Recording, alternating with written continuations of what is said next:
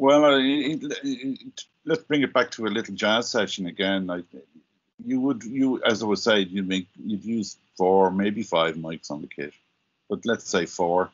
And uh, for the double bass is a problem, as I was trying to explain there. If, if you have a double bass in the same room as a drum kit, it's a very tricky business to record it. Uh, so, generally speaking, I would try and get my hands on, uh, beg, steal, or borrow uh, a small DPA lavalier uh, omnidirectional uh, 4060 type microphone.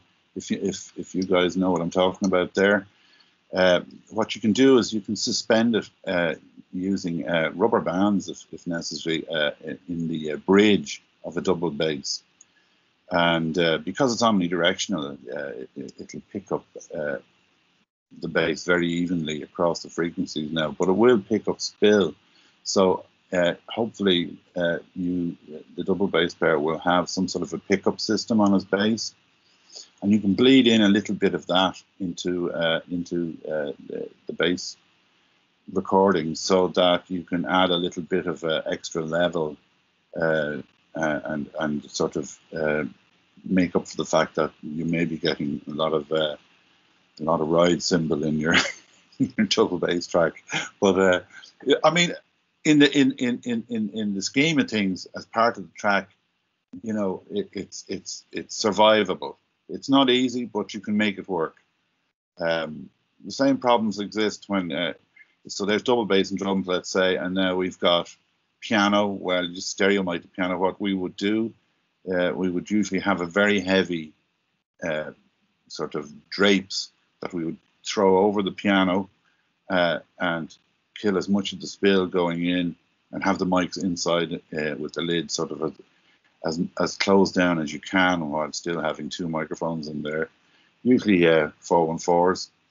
Um, and you might have a guitar. Well, you can mic up the amp, and there's never there's never too much problems with that. Uh, the biggest problem you get from a guitar player with an amp is that he can be too loud in the room and he can be spilling into everybody. Uh, so, but that's that's just a question of getting their own balance amongst themselves.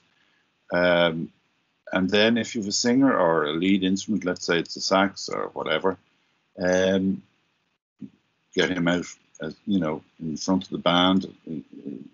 They hate being too far away from the band because they don't get the feel of the uh, uh of the, the groove.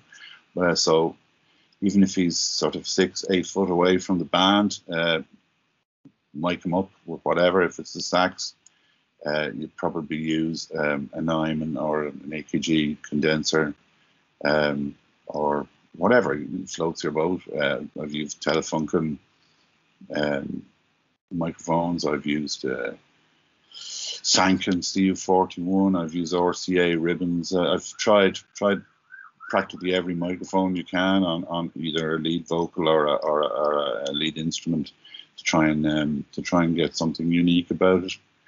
But it's worth experimenting with whatever mics you have to try and uh, for for um, for for recording in a room like that. I often find that a dynamic microphone, would you believe, uh, works very well because there's very little uh, bass proximity effect, and you can actually stick it right into the bell of the sax almost, and uh, and uh, get a, a, fairly even sound without too much spill. So, it, as I say, it's worth experimenting with, say, the likes of a, an SM7, a Shure SM7, uh, uh, or, or even an RE20, which is fairly robust mic, hard to pop and hard to uh, hard to get explosives on it.